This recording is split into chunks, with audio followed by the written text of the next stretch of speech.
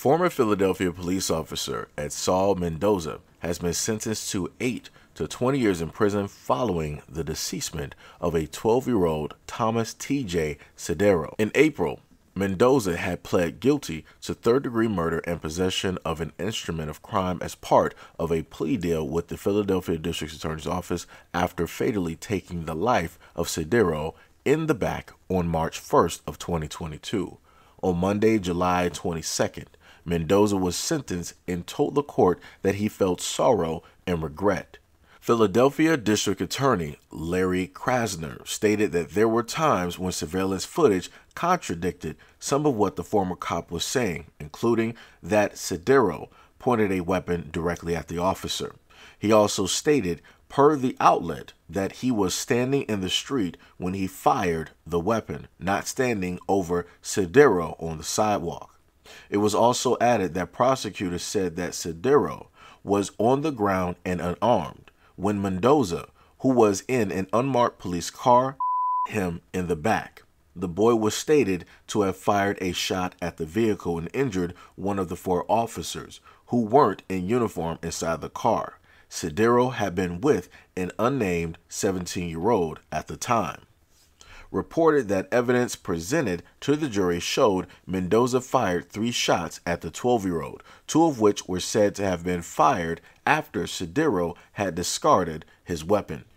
On Monday, prosecutor Clarke Beljean discussed some of the reasons prosecutors have been pushing for a higher sentence of a minimum of 20 and a max of 40 years for Mendoza. Quote, Mr. Mendoza searched online for plane tickets from New York to the Dominican Republic, which is where he was from. Beljean also stated that the prosecutors also said that former officer had then searched for the top five countries with no extradition treaties within the United States while discussing his behaviors after the incident, stating he immediately searched for the flights to Havana, Cuba, after learning that was one of the countries. Beljean stated, This was a shocking crime. Siderio being on his hands and knees when he had his life taken, saying there was no evidence the boy knew the four men he had aimed at that day were police officers because they were in plain clothes. That was a fair, just, and equitable sentencing in this case. Mendoza had initially been charged with first degree murder and voluntary manslaughter charges in Siderio's incident. So let me just say this. Uh, my condolences to the families uh, directly out there who are affected uh, by the loss of life. Um, I've heard too many times that people are like, well, you know, uh, all police need is better training, uh, more training, uh, put more funding and more money to make better officers and yada, yada, yada, because nobody really wants to deal with the fact that you just have a lot of people that are not meant to be police officers. You have a lot of people out there, just like in the medical field, who are there just to get a check. Just like you have a lot of teachers that are in the school system just to get money. Um, this is all over the board. You have fast food workers that are just at the job just to get money. It's not that they actually care about you know serving the common man with the teachers it's not that they care about you know serving the kids and trying to teach them with the police it's not that they care about serving and protecting and upholding an oath and, and trying to make sure that the streets are safe for normal citizens no they're just there for money but for whatever reason, people want to believe in something that is better than them. And because of this, because of this blind faith that is handed directly over to unknown persons, this is what you get. This is what you get, but nobody wants to focus in on it. Nobody wants to look in on it. Everybody that believes in the police always wants to stay, oh, it's just one bad apple. That's not indicative to the, the rest of the 100% of police officers directly out there. That's just one bad apple. Let's let's just let that blame just directly be squarely on him and not the other officers. No, it's on every other officer. Because a lot of these other officers know of officers' bad misconducts they know of their files and their records and how it is that a lot of these officers get transferred to one place to another place because they did the wrong things, because they were found stealing money, because they were found uh, forging, because they were found uh, deciding to coerce somebody into a crime or admitting something of which they did not do, locking up the wrong person, planting evidence. Like I said, the list goes on. But nobody wants to pay attention. Nobody wants to look at it because it's not specifically happening to them or their community. And this is why I sit here and say time and time again the moment in time that you refuse to acknowledge the wrongdoings that are taking place, the happenings that are going on, sooner or later is going to hit your doorstep and to the people that you ignored, to the people that you did not want to stand up for, speak up for, you didn't want to show any type of interest, you didn't want to highlight these stories. The moment in time, all of those people that you looked over, you pushed to the side, you ignored, you tried to overpower their voices, those people are not going to support you.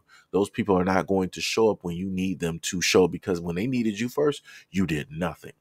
You stood still. You stood down. You looked away. And that's a lot of communities in the United States at this moment in time. Whatever incidences like this take place and happen, people always look away.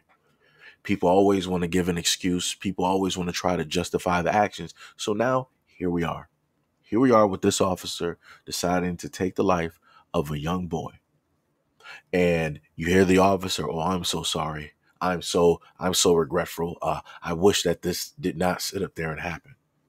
And the justification that they are trying to give is that hey, the young man had a weapon directly on him. But nobody's looking at the fact of why it is that he may have been carrying a weapon on him. Maybe the area that he is in is directly too safe. Maybe you have people out there that might have tried to jump him a few times. Maybe he is not getting the protection that he actually needs. Maybe the parents out there aren't specifically teaching their kids the way that they should be teaching them, which then led to this young man to going to the end result of going to procure a firearm, which he should not even have. Again, I'm not justifying, I'm not saying that it's okay for him to sit up there and have this. I'm just stating that a lot of kids out here have to find a way to survive. If not, they're going to lose their life. In the craziest part about it is this kid did not lose his life to any of the ops directly out there. He lost his life to somebody that was supposed to protect and serve the community. And instead of protecting and serving the community, that police officer decided to take a life.